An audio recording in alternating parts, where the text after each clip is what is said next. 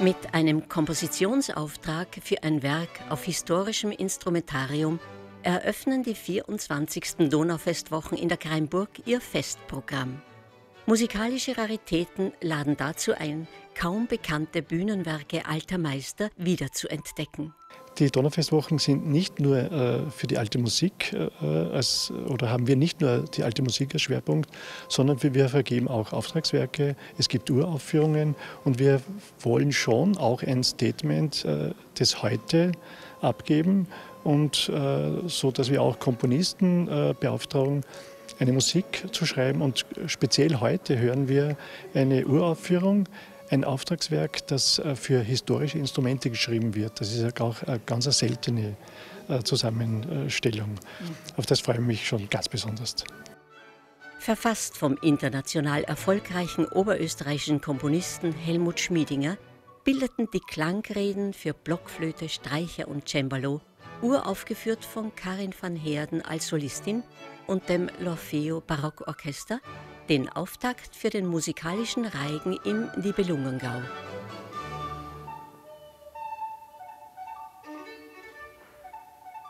Die Donaufestwochen im Strudengau sind zweisprachig aufgewachsen, denn was sie so erfolgreich machen, ist die Übersetzung alter Musik in die moderne. Dadurch öffnet sie so manch musikalisches Schmuckkästchen. Wir haben äh, sicherlich ein, ein besonderes Projekt, äh, was die Donaufestwochen betrifft. Äh, wir sind ein, ja, eine Menge von Menschen, die leicht verrückt sind und mit sehr viel Engagement äh, diese Donnerfestwochen betreiben. Es sind mehr als 2000 Stunden, die ehrenamtlich äh, hier hineinfließen, dass äh, diese Donnerfestwochen möglich sind.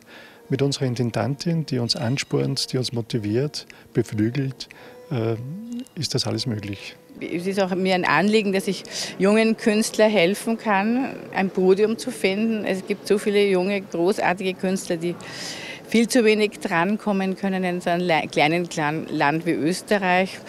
Und das sehe ich schon als meine Aufgabe, einfach Künstler zu fördern. Ein ehrgeiziges Projekt, das einen waschechten Mostviertler dazu animiert hat, die Eröffnungsrede zu halten den österreichischen Psychiater und Schriftsteller Paulus Hochgatterer. Ich wohne in Wien, äh, aber habe natürlich meine Bezüge hierher.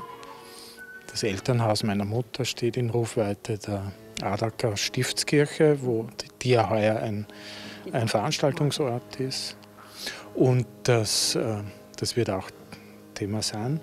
Und das Elternhaus meines Vaters steht in Seiseneck, das heißt in dem, in dem Ort, in dem Katharina Regina von Greifenberg, die auch Thema wird, heuer geboren wurde und gelebt hat bis knapp vor ihrem Tod. Herzstück des Festivals ist traditionell die Opernproduktion auf Schloss Kreinburg. Heuer ist es Georg Friedrich Händel und sein Bühnenwerk Atalanta, das mit zahlreichen Überraschungen aufwarten wird. Wir haben tatsächlich ein virtuelles Bühnenbild. Sie müssen sich das so vorstellen, dieselbe Technik, die Sie vielleicht kennen von der Wetterfrosch, die irgendwie vor einer blauen Wand steht und dann sieht man eine Karte hinter ihm.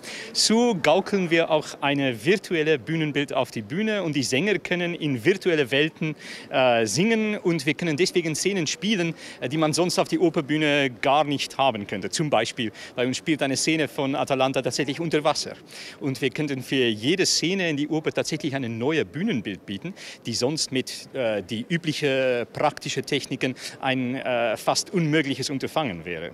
Und äh, ich wollte gerne diese Geschichte auf eine Art und Weise erzählen, dass die Zuschauer überhaupt nicht vorbereiten müssen daheim. Sie müssen nichts lesen, sie müssen sich überhaupt nicht in die Literatur irgendwie wühlen oder sich da stark machen. Sie können einfach kommen und genießen. Premiere wird am 4. August gefeiert.